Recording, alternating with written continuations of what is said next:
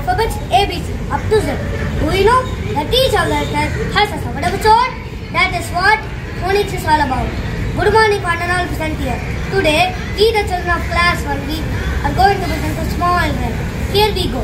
Ah, ah, and some ah, ah.